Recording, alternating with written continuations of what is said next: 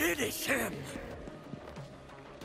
Ghostface transforms into a condor, then dives at the victim. He shreds their chest with his hooked beak before ripping their spine out through the bloody cavity.